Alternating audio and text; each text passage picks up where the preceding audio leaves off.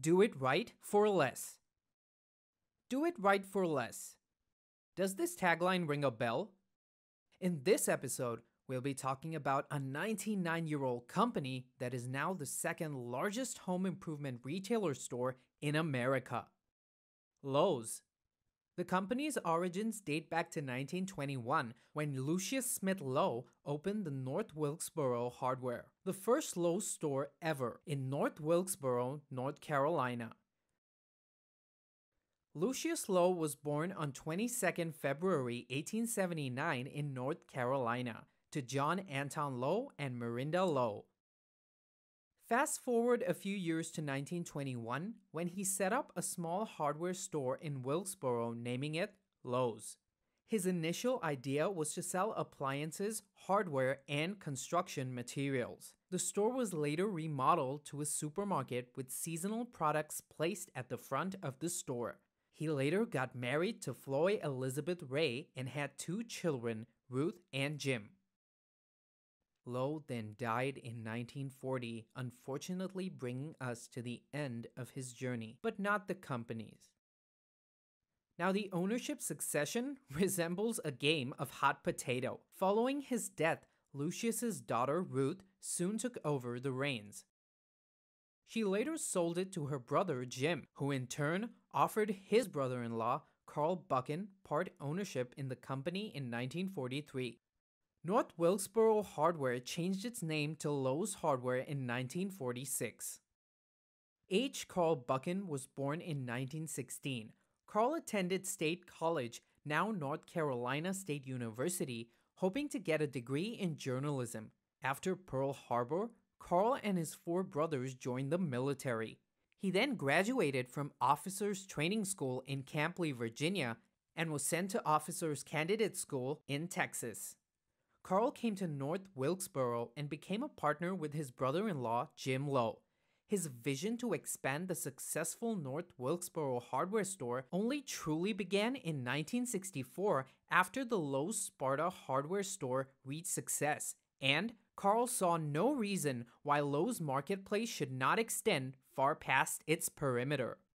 Carl and Jim ran the hardware business from 1946 to 1952 but eventually the pair developed a difference of opinion for the brand. Carl sought business out of town and soon became the sole owner of Lowe's Hardware. He had the talents of an innovative thinker, which became apparent in the 1950s when he challenged the practice of retailers having to buy goods from wholesalers and other middlemen rather than direct from the manufacturers. Fair trade laws in several states protected the practice he challenged. He was a great lover of technology, believing that it could increase efficiency and keep costs down.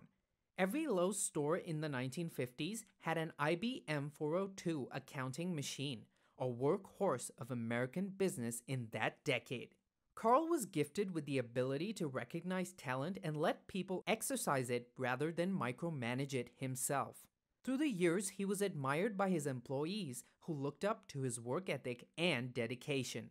He would empower people to do something, then put in controls to make sure it would get done right, said Herring in an interview for No Place Like Lowe's, a history of the company's first 50 years. Carl was an innovator with an insatiable appetite for finding new and better ways to do everything, from managing inventory, motivating employees, finance expansion, to purchasing and marketing products.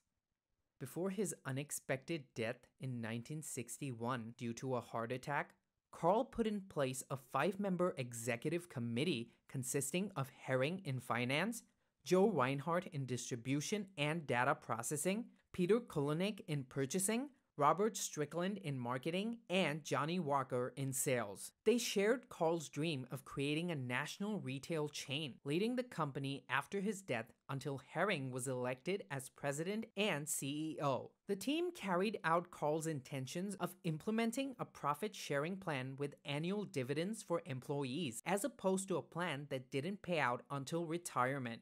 The plan was based on Carl's belief that a company was more likely to prosper if its employees had a definite stake in its fortunes. Giving employees the chance to invest in Lowe's expansion was one way to make them stakeholders in the company's fortunes. But Carl Buchan was contemplating another way as well a corporate profit sharing plan. Employees of Lowe's companies have benefited from what is now the Employee Stock Ownership Plan, which allows employees to share in the growth and prosperity of the company. Adding to this were many other plans created for the benefit of the employees at Lowe's. Carl was a man of morals and he always wanted his employees to be comfortable in every environment they work in. The plans he laid out were to ensure the work life balance of the employees. Edith Richardson of Sparta, vice president of the profit sharing plan, said Carl wanted everybody to feel like they were a part of the company and believed you produce more if you own something. He wanted all to have their fair share. By 1960, Lowe's spread over to 15 locations. His vision continues to benefit Wilkes County in many ways. Carl Buchan was an early adopter of any technology that promised to increase operating efficiency and help keep down costs. He once told a reporter from the Charlotte Observer when I was a little boy, I never wanted to be a policeman or a doctor or a fireman. I just wanted to make a million dollars. Which, to be honest, is what we all dream of, right? By 1960, he had done the same thing several times over. Now, reaching the goal didn't make him less driven, but he instead sought out a bigger goal to make Lowe's the largest and most successful business of its type in the world, owned and controlled by the people who built it. A man like him is very rare to find. He had morals, generosity, ambition, and faith. Now, with more than 320,000 employees, Lowe's Companies Inc. is considered one of the largest hardware chains in the United States, as well as one of the largest in the world. According to Forbes, it is considered one of the world's most valuable brands, one of the top regarded companies, and one of the top 2,000 largest public companies in the world. A man's worth is no greater than his ambition. And I think Carl has not only lived up to this statement, but also shown us how we can have big plans and ideas and do everything in our power to make our dreams come true. Tell us what you think of Lowe's in the comment section below.